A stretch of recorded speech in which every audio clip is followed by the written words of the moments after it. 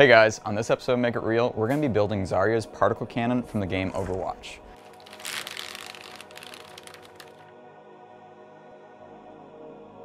Now we're super excited about this project because it's the first Make It Real project that we're really focusing on aesthetics. We're gonna make it look exactly like it does in the game, and it's gonna work too.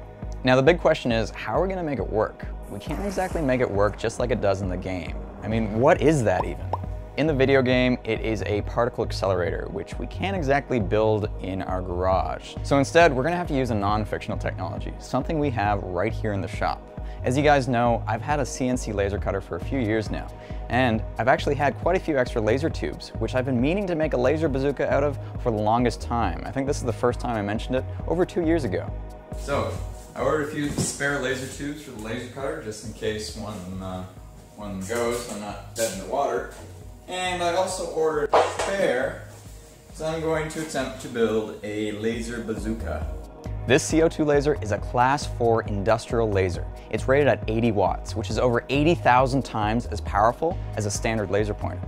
Because it's an infrared laser, that means it's completely invisible to the naked eye. But that also means it's super efficient at cutting through things. Anyway, that's enough talking about it. Let's show you what it can do.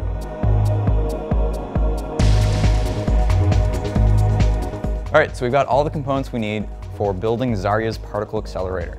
Now, we're actually powering the entire thing off of this small lithium polymer battery, but the power supply for the laser is AC, so we're actually going to be using this power inverter to take DC to AC. And then this actually outputs up to 35,000 volts to the laser tube, which causes the laser to fire. So even though this laser tube puts out 80 watts of laser power, it actually takes over 400 watts of input power from this power supply here. So there's a lot of heat loss, which means we actually have to water cool the entire system. And to do that, we're using a FrozenQ reservoir, which is actually used for uh, computer water cooling systems. But enough talking about it, let's fire up this laser. But first, a few words about safety. Safety, safe, and safeness. And we have Ian.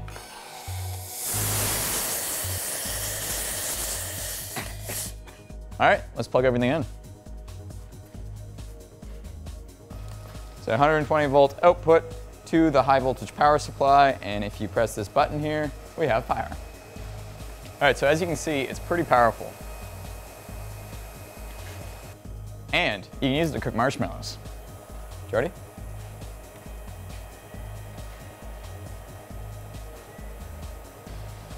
Okay, come on, Jordy.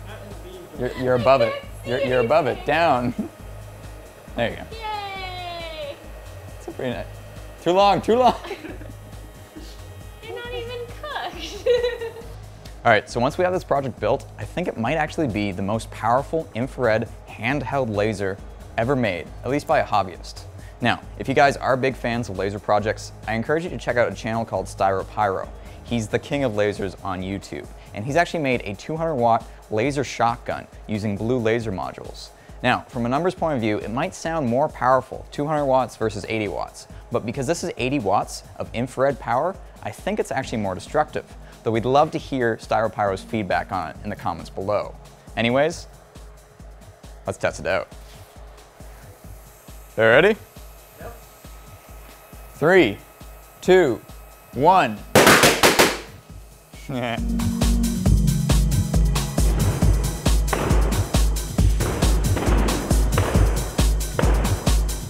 All right, so you guys may be wondering about our blatant disregard for laser safety in this video so far. Well, to be honest, we had originally had this plan to make this overcomplicated helmet where you actually look through a camera lens and see everything through a screen, which is probably the safest thing you can do. But then we realized normal safety glasses actually absorb infrared light as well, which means they will protect your eyes, but not for very long. Let's take a look. So I'm just going to flash the laser real quick to see if the goggles protect from a quick reflection of infrared light. All right, so as you can see, the goggles are fine. They're a little burned, but at least the balloon didn't pop. Now, if you were to continue staring right at the laser through your safety goggles, you'd be in trouble. Let's see what happens.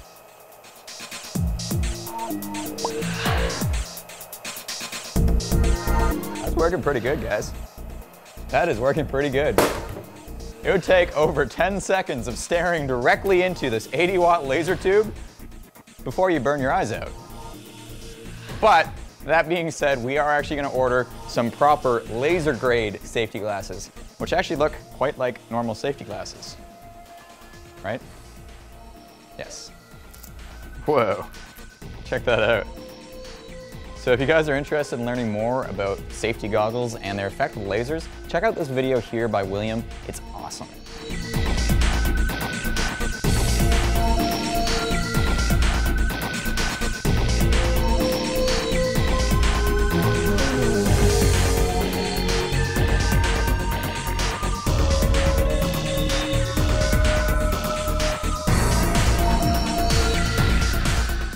So the big question is, how are we gonna make this laser tube look like Zarya's particle cannon? Well, I'm glad you asked. So one of the hardest parts about doing a project like this is getting an accurate 3D model of the actual gun. Luckily, someone on Thingiverse has already created one. They were able to extract the game files from Overwatch and create an STL model of the entire gun, which has over 30 individual pieces. So a big thank you to KS Cannon for creating this file and releasing it to the public on Thingiverse. Now the tricky part is all these STL files are individual, and we actually have to assemble them together into the complete model of the gun. Which is why STL files suck. If this was actually made in, say, SolidWorks or something, you'd actually have an assembly file, and you'd be able to mount all the files together using mating features. Whereas what we have to do with Meshmixer is actually place them all by hand, which took us quite a few hours.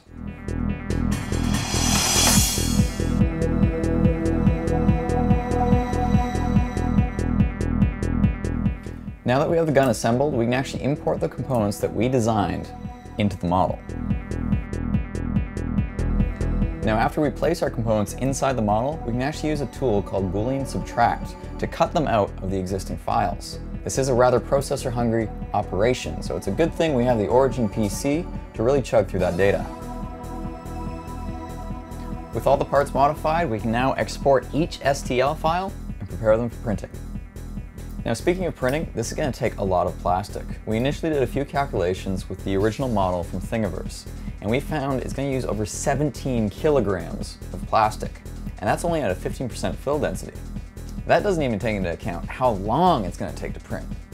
Luckily, we reached out to Lulzbot and told them about the project, and they were very happy to support us. So they actually sent us 30 kilograms of PETG plastic to use for this project. In addition to sending us 30 kilograms of premium PETG plastic, they also sent us a MOARstruder, which can print at a layer height of up to 1.2 millimeters. A normal 3D printer typically prints at around 0.25, which means to print Zarya's particle cannon, it would take over a thousand hours, but with the MOARstruder, it would only take about 240. In addition to that, they also sent us two more TAZ 6s, complete with more extruders, which means we're going to be able to print this entire thing in just a few days. We've already gotten started. In the next build video, we're hoping to finish this off and make it ready for the first test. All we have to do is finish 3D printing it, then we'll have to sand it, painting, add the electronics, probably do some more sanding, paint it again, realize we used the wrong color, sand it again, and assembling the gun, and it'll be ready for the first test. To see that, click here when it comes out. But you know what? We wouldn't even be able to do this project if not for an audience like you. You guys are awesome. Thanks for subscribing and stay tuned for the next video.